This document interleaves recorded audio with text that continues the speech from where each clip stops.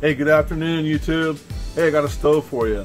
I did my coffee challenge the other day uh, on this stove, and uh, James wanted to see it simmer, and Eldon had some interest in it. Hey, Eldon, I hope you're feeling better, man. Um, hope to hear from you, see how things are going. Uh, got this little Gaz stove, G-A-Z, okay? Um, it takes these little fuel cylinders. There's no thread in the bottom or top. It's got like this little dimple. These fuel cells are pretty hard to find, but they're out there. They don't make them anymore, not that I understand. There's some other diameters and, and heights, so be careful when you're getting uh, these to, you know, that, that, you're getting the right one, but I would never pass on any of these. If you ever see them out and about, yard sailing or thrifting, grab them. So um, I'm going to show you the stove. Uh, oh yeah, by the way, thank you, Anne. Anne sent me this stuff uh, up down from Seattle. Um, I collect these Gaz stoves. Uh, I'm the minority. A lot of people don't. Uh, I love them, uh, and I'll go over the reason why. Uh, so what you're looking at here is you're looking at the tank uh, cradle.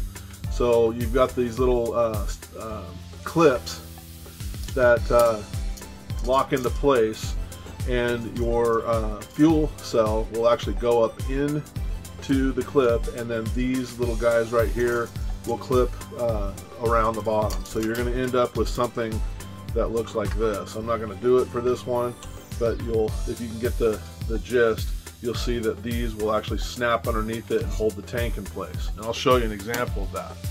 And then what you'll end up with is this threaded, threaded throat right here, and you'll see the tank through there.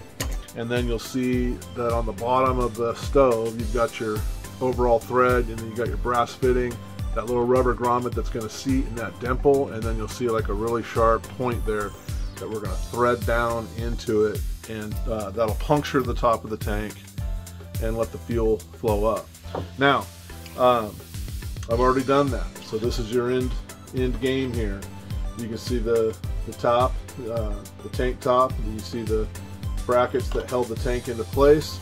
And then I've threaded the stove down into it and punctured it and now we've got a working stove. So pretty cool. You can uh, it's modular right? So you can take this off and I can I can turn that one into a lantern right?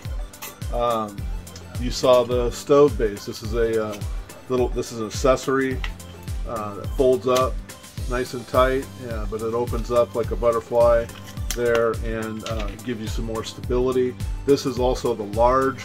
Uh, I like this one the best. This has the real, uh, they fold up, uh, but they're, it allows you to put a big pot on the top of this one. And as you can see, this little guy would be for like backpacking or day camping.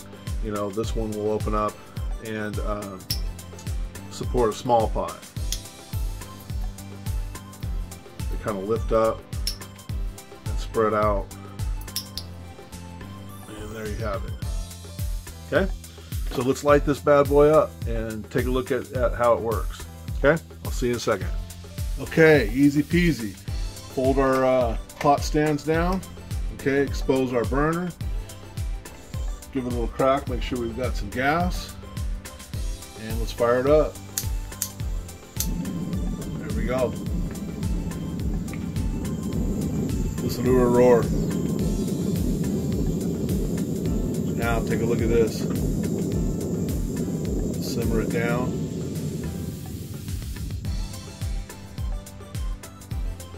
Down to nothing.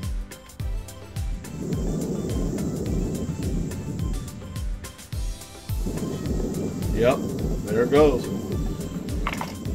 One of the things I like about this fuel is it's butane, okay? And uh, I feel like it just burns hotter, uh, cleaner, and uh, of course I think uh, in altitudes I think it actually is uh, really beneficial on high altitudes to keep burning.